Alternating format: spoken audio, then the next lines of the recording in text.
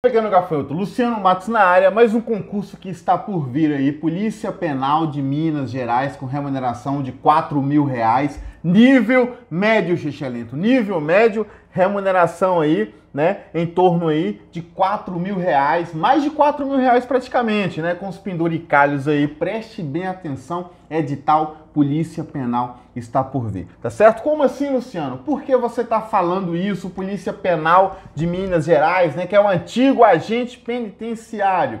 Preste bem atenção aqui nos prováveis requisitos, tá certo? Do próximo edital aí que sairá, segundo o secretário de Segurança Pública, né? Me parece aí que é o professor Rogério Greco, é, é, é, é o mestre em penal aí, show de bola.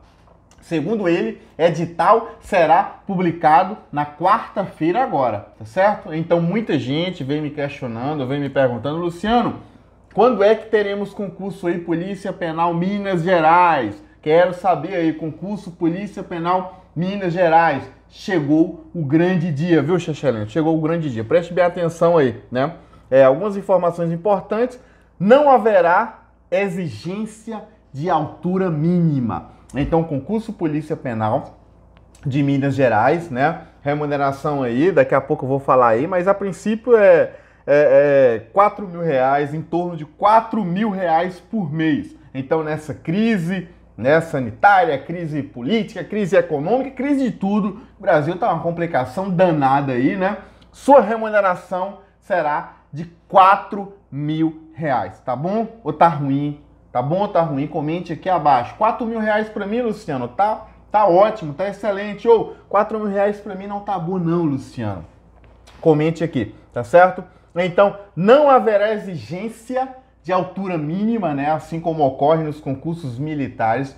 Geralmente, Excelente, altura mínima igual PMBA, por exemplo, né?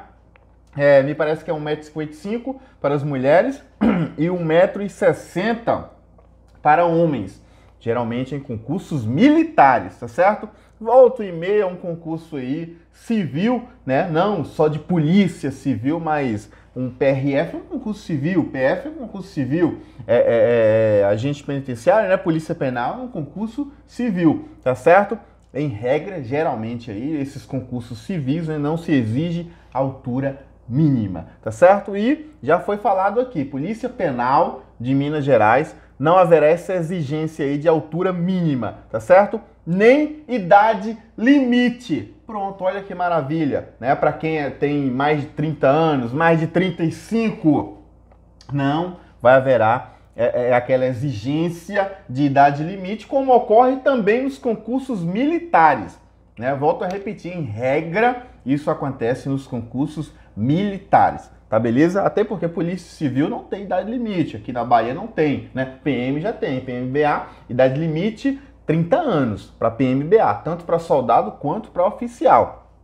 Tá certo? Polícia Civil não tem idade limite, também não tem altura mínima. Né? Beleza? Então, altura mínima não vai exigir a princípio, idade limite, idade máxima também não vai exigir a princípio. O cargo exige nível médio, Xexelento, nível médio de escolaridade. Então você só com nível médio, sem faculdade, não precisa de curso superior, né? Me parece que até para soldado da PM de Minas Gerais tem que ter o curso superior, tá beleza? Aqui no, no na Polícia Penal, nível médio, beleza? Apenas nível médio.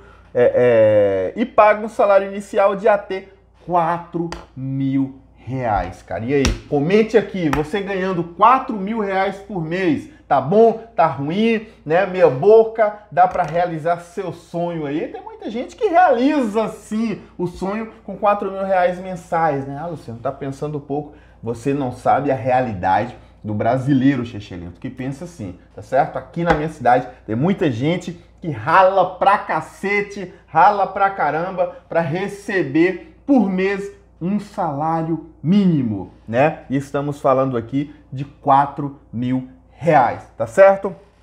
4 mil reais para nível médio, né? Veja aí na iniciativa privada, veja aí quem é que ganha 4 mil reais na iniciativa privada, né? Que lógico que não é dono, que não faz parte ali da sociedade da empresa, tá certo? Estamos falando de funcionários, né? Beleza?